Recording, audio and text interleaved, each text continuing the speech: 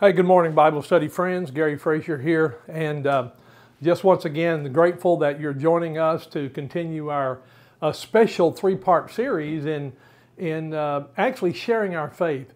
You know, we've talked about this before. So many of us have lost loved ones, family members, friends, and so forth. And and the truth of the matter is, you have a passion and concern for them because you know that if Jesus came today or they were to die, that you don't you don't believe that they would go to heaven and yet you want them to, and that's a normal response of compassion and love, the same kind of love and compassion that Jesus has for all of us, and even for us when we were not born again, not part of God's forever family, in someone, some way, somehow, we got the message and we put our faith and trust in Christ, and as a result of that, we want to share that. I've often said we're like the beggar, we, you know, we have the bread and people are begging for it, and so let's share the bread with them. But we're going to get in into this in just a moment. Let's begin with a word of prayer. Father, thank you for your uh, unbounded grace. Lord, thank you that, that you love us. You looked down through the halls of history and you saw us and you loved us and you gave yourself on the cross for us. And you brought someone, some way, somehow across our path so that we could know you intimately and personally. And for that, we're grateful. So bless our time together today and make it productive as we've often asked you to do for the kingdom's sake. And Lord, this is about kingdom business, and that is reaching people with the good news of Jesus Christ. And we ask these things in your name, knowing that we're praying according to your will. Amen. Well, today we're going to continue our series. Now, last week we uh, began by sharing a testimony, and we looked at Paul's testimony as recorded there in Acts chapter 26, where Paul uh, is. Uh, is sharing, first of all, what he was before he came to know Christ, how he came to know Christ on the Damascus Road, and then what God was doing in his life as a result of that. so those are the key, excuse me, but those are the elements of a personal testimony. But I want you to understand today that our testimony is a valuable part of our own personal experience. So today we're going to jump in now that we looked at that episode last week in part one. Now, part two, we're going to get into the five steps of sharing our faith. And then next week, I'm going to be doing some role playing and actually sit down with someone and show you kind of to give you some idea of how this would could, could flow along and how you could do this easily yourself. So, why do we want to share? Well, let me first of all say we want to share our faith because Jesus has changed our lives. And so, as a natural result of, of a changed life, being born into God's forever family, we have a desire to share it with others. But then, secondly, excuse me, secondly, we have a command and a promise. You see, in Matthew 28 19 through 20, there is, first of all, a command. And here's the command Therefore, go and make disciples of all nations baptizing them in the name of the Father, and the Son, and the Holy Ghost, and teaching them to obey, obey everything or all things that I've commanded you. So the commander in chief, the Lord Jesus Christ, has given this command to his followers. And so we're to go out and share our faith. We are to be witnesses of his incredible mercy and grace and love. But then the, there's a promise. And then he says, and surely I'm with you always to the very end of the age. So, so let me make something perfectly clear. When we're sharing our faith, we're doing what God has commanded us to do. And the promise attached to that is, I'm going to be with you. You see, we can't really do this in our own power. But the Lord Jesus Christ chooses to live within us. And because He lives within us, He works through us to take that message to those we care about and to other people. And He's promised that He will be with us. You know, the Bible says that Christ is in us, and He's promised never to leave us, nor will He ever forsake us. And so then 2 Timothy tells us something else. Paul writes to Timothy, and in 2 Timothy 2 2, he says, And the things you've heard me say in the presence of many witnesses, entrust to reliable people who will also be qualified to teach others. Uh, and so the bottom line here is, is that we're not just wanting to share and have people born to the family of God. We also want them to become witnesses. We want to entrust them the with the truths that we've been uh, taught so that we can do a multiplication process. You know, when I went to pastor in the city of New Orleans, one of the things that my desire, one of the goals that I had was that we would train 100 personal soul winners so that we could so that we could attack the community in which we were living and serving with the good news of Jesus Christ. And so we want to not only know how to do something ourselves, but we want to teach our others also so that they can have the same joy that we can have. So with that in mind, today we're going to look not just at, at uh, why, but the how of sharing our faith. So the gospel, and I want to say this be, to be clear about this, should never be the best kept secret in this dying world, and yet for the largest part it is because 99% of evangelical believers have never shared their faith one single time with another person. It's like we found the truth, but we don't want to share that truth, or even if we do want to share it, fear factor takes over and we're afraid to do so. And so that's part of the issue here. But I want you to know that sharing our faith is a simple conversation and it is not a confrontation. You know, years ago I had a good friend of mine. His name was uh, Walter K. Ayers, and Walter was an evangelist. He had played football at the University of Arkansas. He had also been quite a boxer and, and boxed professionally for a period of time. And Walter was one of these guys where he was a man's man, but Walter would confront a man about the gospel. And basically, what he would say is, is that I'm going to share the gospel with you, whether you like it or not. If you don't like it, I'm going to twist my, I'm going to break your arm or something. I mean, he was just a, a very unusual kind of an individual. He grew up in DeQueen, Arkansas, and he was a mess. But I want to tell you something. We're not talking about forcing people to do anything. We're talking about just having a conversation with them. So I want you to understand, we're not trying to be confrontational. We just want to talk to somebody and share with them because we love them and because we care about them. And so the truth is, people are often open to talk to those who they feel are genuinely interested in them. You know, the bottom line is when you really care about someone, they get that. They understand it. And so they, they're more willing to be open to have a conversation when, uh, when they know that you care and you're interested in it. So we begin our journey today, and this is really important. I want you to take the time to sit down, not this morning, or not today when you look at the video, but as soon as you finish watching this, and write out your personal testimony. Now, if you've never done this, you have to do it. And here's why. As we already said in last week's message, your personal story belongs to you. No one can refute it because you were there. I shared a little bit of my personal testimony.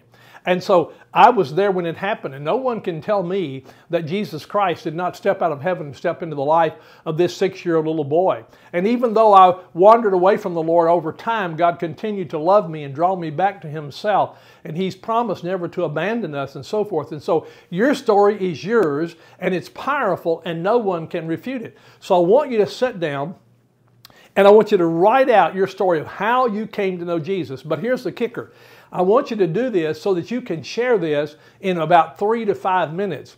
And that requires practice, practice, practice on your part. So let me just illustrate how this goes about. So, step number one in learning to share our faith is first, we're going to write our personal testimony and we're going to work on it so that we can share it, as I said, between three minutes to five minutes. Listen, I can share my testimony in as little as three minutes, and the maximum, I could spend two to three hours talking to someone about the experiences that I've had and how God drew me and how I came to know Christ and what He's done in my life since then. So we can, we can go on and on and on, but the bottom line is most people won't give us that much time. And so we need to learn how to be succinct in sharing the gospel of where I was, how I came to know Christ, what God has been doing in my life since then, and whatever he, what He's done for me, He can do and will do for you. So, step number one is the conversation is simply, or begins by simply getting to know something about the person by listening to what they say. In other words, there's some type of a dialogue that takes place. You can't just walk up to somebody and say, I'm going to tell you about Jesus whether you want to hear it or not. No there has to be some type of a, of a conversation and that you're involved in and so forth. For example, Sandra and I were on a flight from Atlanta back to Dallas a number of years ago, and uh, it's been six or seven years ago now, I suppose. And so what happened was uh, we're seated, I'm in the middle seat, and Sandra's by the window, and so uh, a very nice looking, well dressed man came and sat down on the aisle seat beside me. And we started talking about, you know, hey, uh, do you live in Dallas? No, no, I, I, live in the Atlanta area. I'm going to Dallas on business and so forth and so on. And, and, and we were, so we said, well, we were, we were in Atlanta. Uh, I was in Atlanta speaking at a church and we were on our way back home to, to the DFW area and so forth and so on. And, and so just this conversation, just an easy going, smooth conversation. And so then as we were talking, I, was listening very carefully to everything he said because people will talk to you, they'll tell you things if you are listening. So, step one is listen. Step two is there two diagnostic questions, and you have to ask these questions, and you must listen very, very carefully to their answers because they're going to give you great insight into what they believe. So, question number one is this in a very simple and relaxed way, and you make it your own. Uh, by just learning and memorizing. But the question is, you know, have you come to the place in your spiritual life where you know for certain if you were to die today that you would go to heaven? And, and that's what I asked the man sitting beside me as we talked for a while. And finally, I said, "Hey, would you mind if I if I ask you a couple of questions?" And he said, "Oh no, uh, that's fine. What do, you, what do you want to ask me?" And I said, "Well." I just wonder if you've come to this place to a place in your spiritual life where you know for certain if you were to die today that you would go to heaven. So that's question number one, diagnostic question number one. Now the question number two is, so when I asked him that question, he said, well, I sure hope so. And most people respond by saying, I hope so, uh, maybe, uh, you know, or something like that. But, but very rarely do you get a person who will say, absolutely, I know that for a fact. But the second question is even more important because it diagnoses, the diagnosis of this question is, what, why do they think they're going to go to heaven if they say that they are? So the second question is, and I posed it to him. Suppose you were to die tonight and you found yourself standing before God and He said to you, I should let you into my heaven. What, what do you think you might say or what would you say? And he said, Well, I, uh, he answered it by saying, Well, I, I think I'm a, I'm, a, I'm a good person. And uh, uh, I, I, know I'm not perfect, he said, but I, I think I'm a good person. And he kind of went on to elaborate some of that. These are the two most important questions you can ask because one tells us whether or not they think they're going to go to heaven, and the second question tells, tells us why they think they would go to heaven. And most people have never, ever thought about what they might say if they were standing in the presence of the Lord Jesus Christ. So here is the transition, and you must memorize this. Now, some of this presentation requires a certain amount of memorization. Let me be frank about that. Why? Because we, we don't share our faith because we're fearful. But when we know things and when we learn things and we hide them in our heart, the Holy Spirit can pull them up in our heart and our mind and use those things. For example, I've shared this before with you, but I'll tell you it once again. You know, I uh, learned to fly when I was very young, and I'm sitting in the left side, the captain's seat in an airplane, and and the engine is running, and I've got a instructor here to, in the right side in the passenger seat. And, uh, and frankly, I'm afraid I'm about to push in the power and take this airplane off, and I've never flown an airplane before and knew very little about that at that point in time. But as my instructor explained to me and taught me about the aerodynamics of flight, he said, Gary, you know, these wings are designed to provide lift. And that's what happens when the airplane starts moving through the air.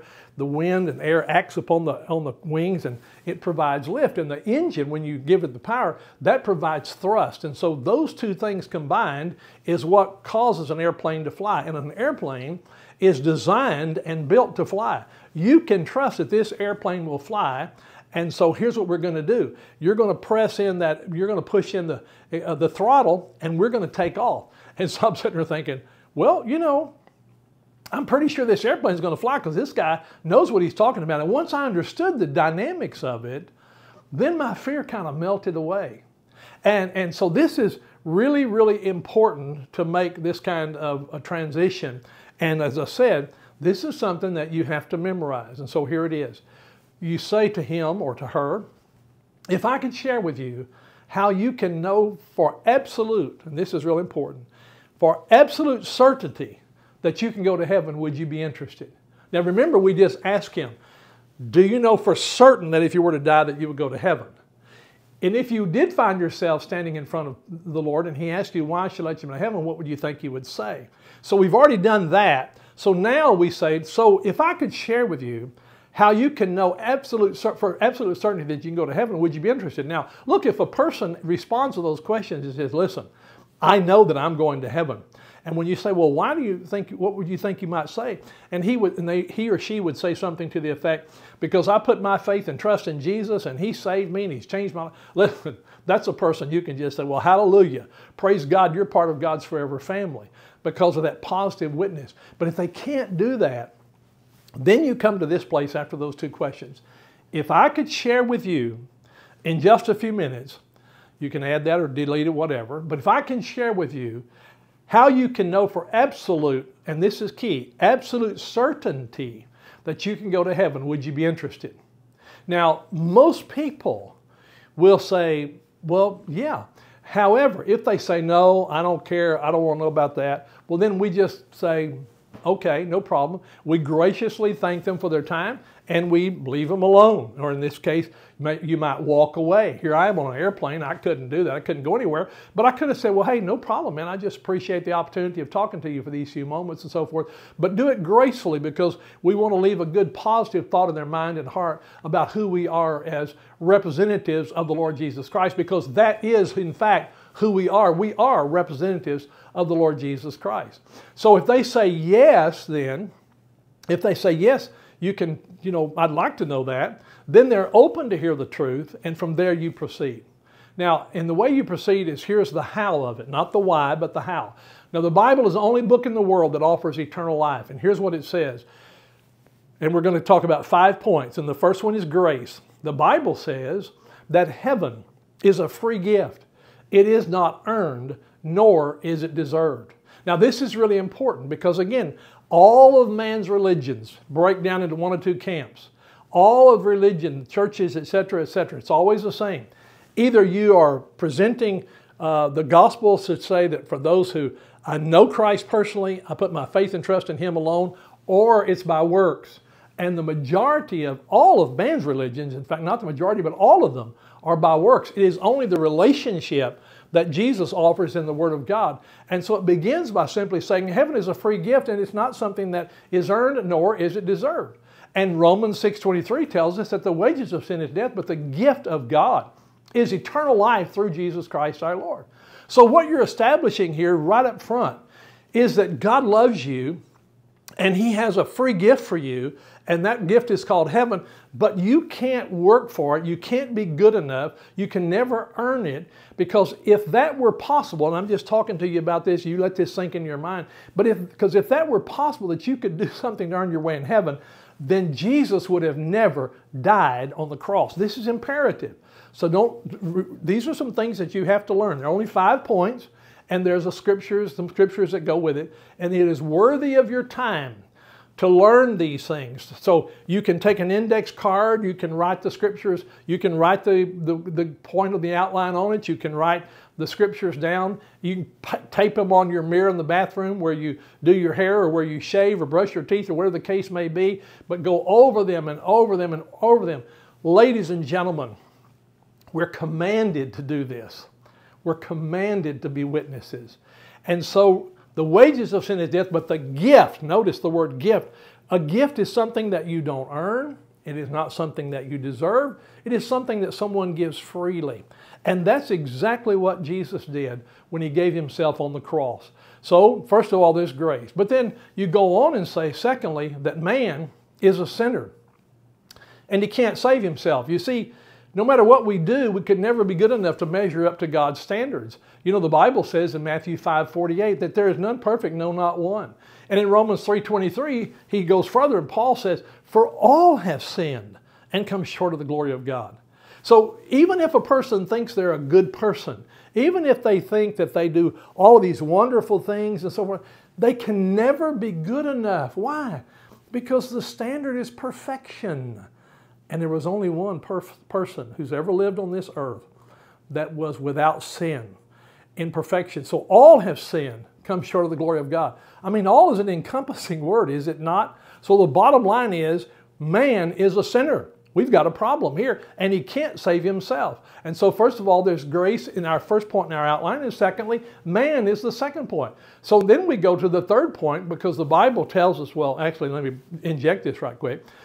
In, in, in uh, Ephesians 2 8, it says, For by grace you saved through faith, not of works. So this is yet another verse that you're going to want to memorize. But, so the third point is simply this. But God, so God is the third point. But God is merciful and loving, and He does not want to punish us, but He's righteous and He must punish sin. And so here's what's important for us to understand. First of all, we talk about the grace of God. Then we talk about the fact that man is a sinner. But then thirdly, we bring God into the picture and we want them to understand that God loves us, that God is merciful, He's gracious. Listen, there is a reality. One of two places people will spend eternity either heaven in the presence of the Lord Jesus, and they can only get there one way through trust in Him, or separated from Him in a place called hell. And by the way, if you're not familiar with Luke chapter 16, you really need to read that passage about the rich man and Lazarus and the rich man who died and went to hell and so forth. You need to, to read that because you may want to refer people to that passage of Scripture at some point in time. But because God is, is a merciful God, that's one thing, but He's also a just God. And as a result of that, man's sin demands punishment. But let me be clear hell was never created for us. Hell was created for Satan and the fallen demons who had rebelled against heaven, uh, hell, uh, uh, against uh, the Lord Jesus, against God the Father, rather, excuse me, in, um, in heaven. And Isaiah 14 tells us and gives us the information on this if you want to look at that. But having said that, he's righteous and so he has to punish sin. Sin is a choice. Sin is our, and it's also by, by the way, it's our sinful nature. And so God must punish us because there's a consequence to the choices and the decisions that we make to go our own way. So, how did God solve this problem? Well, the answer is He solved it with the man, Jesus, who was fully man, yet fully God. And so, who is Jesus and what did He do? So, remember point one, grace, point two, man, point three is God, point four now, we come to Jesus. So, now who is He and what did He do? Now, Jesus is God in the flesh who came as a man, yet lived a sinless life. And John said in John 1.29, when he saw Jesus walking toward him, John the Baptist said, Behold, the Lamb of God who takes away the sin of the world. So John the Baptist recognized that Jesus was a unique individual because he was the one who came from God and who was going to take away the sin of the world. Though he never sinned, he was crucified to pay our debt. Let me be clear about something. The Jews didn't kill Jesus. The Romans didn't kill Jesus. No one killed Jesus. Jesus laid down his life as the sinless sacrifice for me and for you. I can't imagine why Jesus would love us that way, but in the eternal plan of God, the mercy and the grace of God was exhibited through the Lord Jesus because Jesus came to show us the love of the Heavenly Father. And what he received in return for his offer of love was a Roman cross. But remember this it was my sin and your sin that nailed him to the cross. But he paid that to, to he, he died on the cross to satisfy our sin debt with God. Now, one of the things that I think is important is, is that not only did he die, but here's the real important thing Three days later, after he'd been in the grave for three days and three nights, he arose from the grave. And the fact that he rose was the evidence that God the Father accepted the sacrifice of Jesus. And so he brought him back to life. And so Jesus lives today in and through us. He came to dwell within all who would receive Him. And so He lives in us. And so He did for us what we could never do for ourselves. And He was then the payment for our sin to reconcile us to God. And then He gives us this free gift of eternal life. And all we have to do is, notice, accept it. The reason I put accept in red is because I wanted to symbolize that we become, we, we put our faith in Him because of the shed blood of the Lamb of God. So all we have to do is accept what Jesus did. So how do we accept what he did? We accept it by faith. The Bible says, For by grace are you saved through faith. Now, a moment ago, we used that verse to say, it is a free gift of God, not of works, lest any man should boast. But here we want to just focus on the fact that we're saved by grace through the vehicle, the means of faith. So we have five points grace, we have man, God, Jesus. And now we come to the fifth point in our outline, which is we receive what Jesus did by faith. So, what is it? Well, let me explain first of all what faith is not. Faith is not just saying one believes in God, because as you can see, James 2.19 says, you believe that there's one God, well that's good. Even the demons believe that and shudder. So what's, what's the issue here?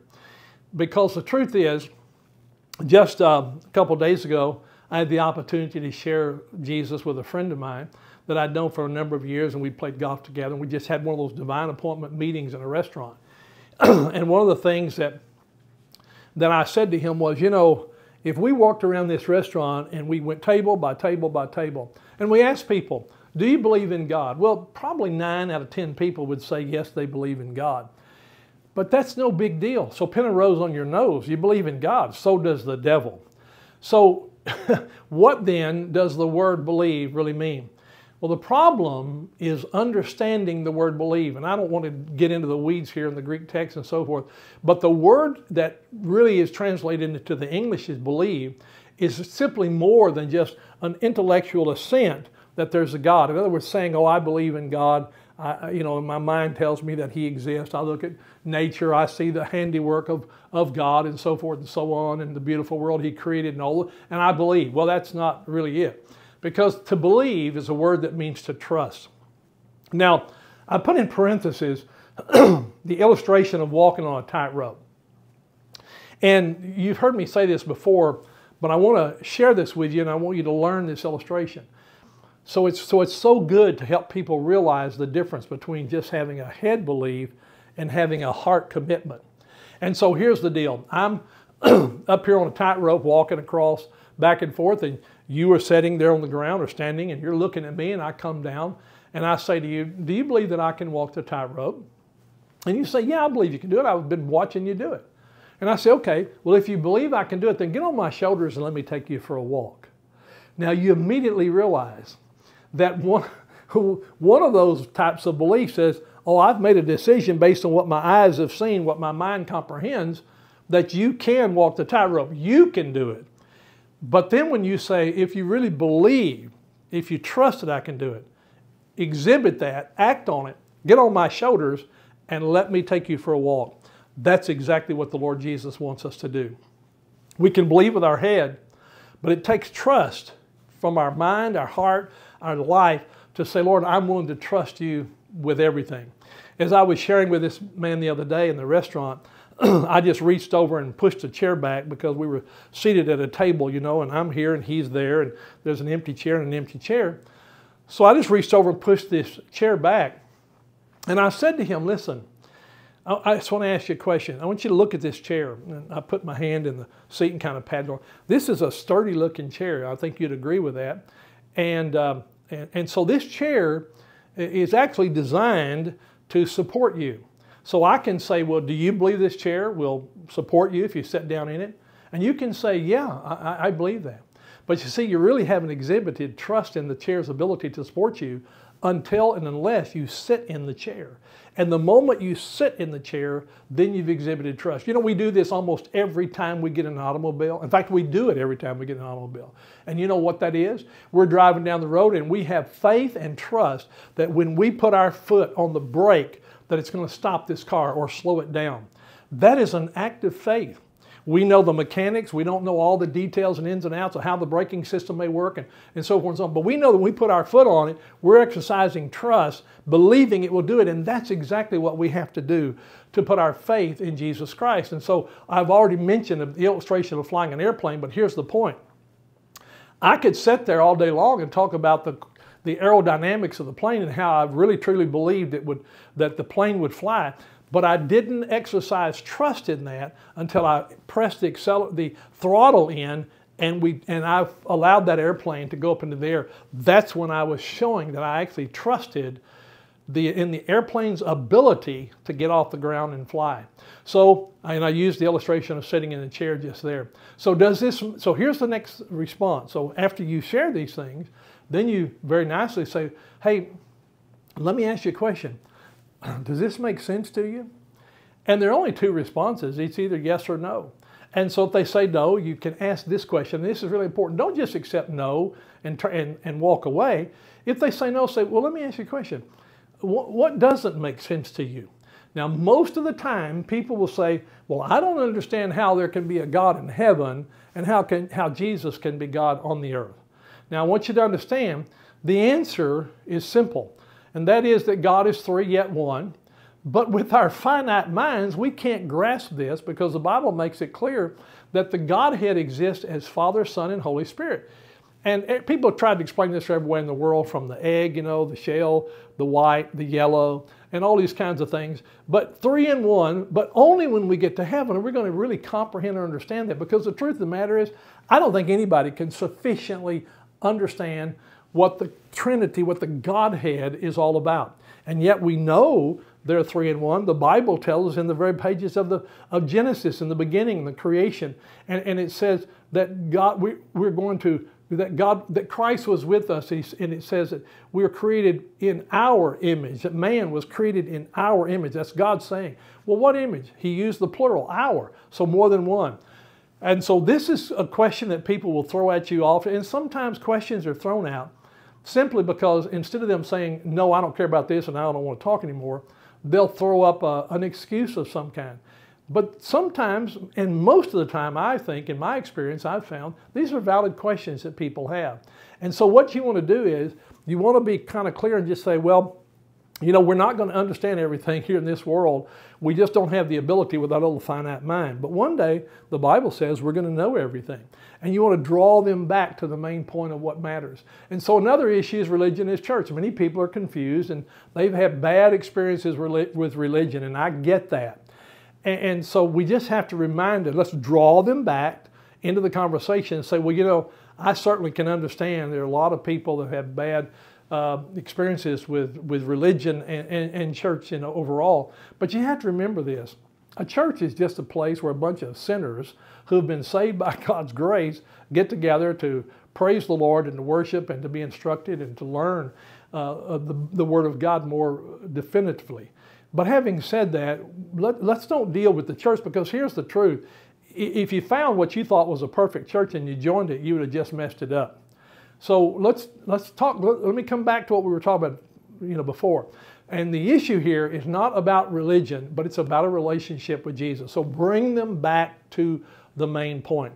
And if they say yes, then you can proceed with it if this does. And remember, a while ago was, does this make sense to you? And they said, well, no, because they have these issues. But if they say yes, it does make sense to them, then you are. Then the question is, and you can phrase it this way if this makes sense to you, then are you willing to receive the free gift of Jesus, life that He, or the gift of eternal life that Jesus is offering?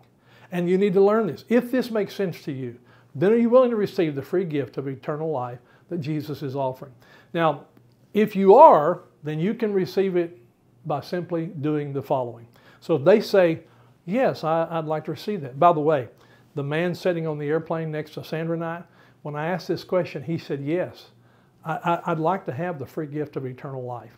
And so, if you are, I just told him, I said, Well, if you're willing, here's how you do this. First of all, A, I want you to admit that you've sinned and broken God's laws. Those are the Ten Commandments. So, you don't have a problem with that, do you? You, you can come to terms with the fact that you have either sinned in word, thought, or deed. Oh, yeah, yeah, no problem. I, I understand that. Second, I want you to be, believe, and trust in your heart and mind accept that Jesus, or just believe that and trust that Jesus Christ is God. And then see, confess with your mouth that Jesus is your, your personal Lord and Savior, your Lord and Savior. Not that of someone else, but your personal Lord and Savior. And here's how we do this. We come to terms with this with simply a prayer of salvation.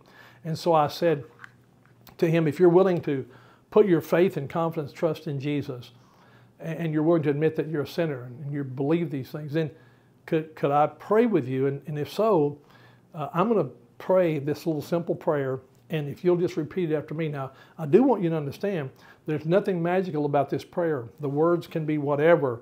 But basically, all we're saying is this Dear Lord, I know that I'm a sinner and that I cannot save myself. And so I ask you to forgive me of my sin and come into my life right now and save me. And I want to thank you for saving me. Amen. Now, keep in mind, ladies and gentlemen, the, the words, the prayer is not the important part because God is already, God already knows the heart. God's looking on the heart. And will there be people who may do this and really not be truthful in the sense of desires? Maybe they're just doing it to get rid of you or me or whatever the case may be. Eh, maybe, but that's not our business. Our business is just to tell the truth because we're a witness and we don't judge them as to what their motive may or may not be. But this is just a simple prayer. And, and I've led hundreds of hundreds of people to faith in Christ by just simply saying, Lord, I know that I'm a sinner. I know I can't save myself. What we're really saying is I can't work hard enough or do good, be good enough, etc., to save myself. And so I ask you to forgive me of my sin and come into my life right now and save me. And then I want to thank you for saving me. This is just the simple prayer that so many people have used. And so if they pray this prayer with you, then welcome them into the family of God and encourage them to start reading the Bible with the Gospel of John. Refer them to our Bible study on John. They can go back in the Gospel on, on YouTube and start with lesson one in the Gospel of John and just watch and learn these videos in the days that follow as they're reading the Word of God. And also, as I said, this is really important because they can do all this on YouTube and it helps them, as it has helped all of us, to grow in the grace and knowledge of the Lord Jesus Christ. So, this is step two in learning how to share our faith. It involves a personal testimony, it involves a simple five point outline. And while today I've elaborated on a lot of these things, but listen, remember that on YouTube you can watch it over and over and over again. Don't you know, don't don't fail to write your testimony out and to work on it, to learn it, to internalize it. You know, Peter tells us in the Word of God that we ought to be ready to give a reason for the hope that lies within us. Well, I have a hope that lies within me because one Sunday night in a church in Garland, Texas, as a six year old little boy, I gave my life to Christ. And I can share my story briefly, as I said to you in the beginning of this video, in three to five minutes or three hours. Bottom line is, it happened to me. It's real. It's my story. But then to learn these out, this outline, these little simple five steps that we've been through, and then the, the diagnostic questions and the transition sentences and the scriptures. And I know it sounds like a lot, but listen to me. Through the power of the Holy Spirit, you can do this. So, Father, I pray that your blessing, that your anointing would be upon my dear friends. Lord, I pray for your glory that we would commit ourselves to be the strong, courageous witnesses that you would have us to be in the closing days in the history of this world as we know it. Lord, you're coming soon, and the door to the ark will be slammed, and no one else will be able to come in. So allow us in these days ahead to use these great truths to bring as many people into the family of God as we can, reminding ourselves that you are a gracious and loving God. You're always drawing people to yourself because it is your will that every man, woman, and boy and girl would come into a saving knowledge of Jesus Christ. We love you and praise you.